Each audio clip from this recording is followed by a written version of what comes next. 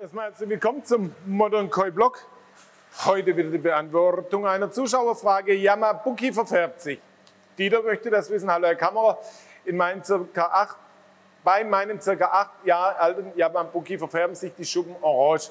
Kann das vom Futter sein? Ich habe heuer Limited Edition 2019 gefüttert und seit circa zwei Wochen Nihon. Viele Grüße und weiter so, Dieter.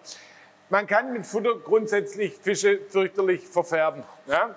Das geht aber erst, wenn Unmengen an Spirulina drin sind, wenn man mal fern der 5% ist. Da kann man natürlich Kohaku schön rot machen, zumindest solange sie diese Diät bekommen. Ähm, man kann aber auch alle Fehlfarben dadurch unterstützen. So, Yamabuki neigen grundsätzlich genetisch zu diesem Nibanhi, also sind die orangefarbenen Shimi.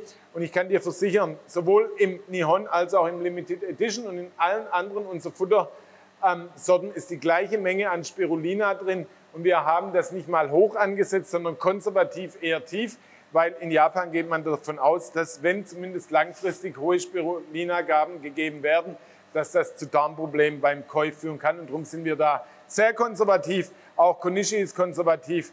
Und du kannst eigentlich davon ausgehen, dass es genetisch ist. Wir haben letztes Jahr 30, 40 Yamabuki versteigert und verkauft, haben die im Frühjahr dann importiert, wie jedes Jahr.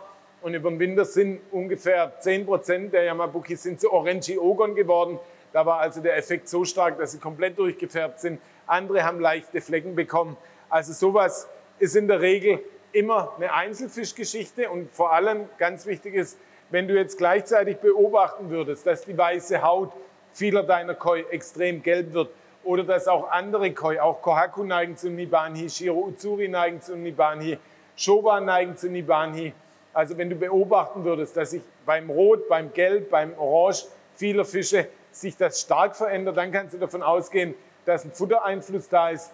Aber wenn es nur ein einzelner Fisch betrifft, dann musst oder kannst du eigentlich sehr sicher davon ausgehen, dass das eine genetische Geschichte ist und die kann natürlich auch noch nach acht Jahren durchschlagen. Interessant wäre zu wissen, wie groß sind die Flecken? Sind es kleine Stecknadelkopfgroße Flächen, äh, Flecken oder ist das eher großflächig? Wie stark orange sind sie? Ist es nur so ganz leicht?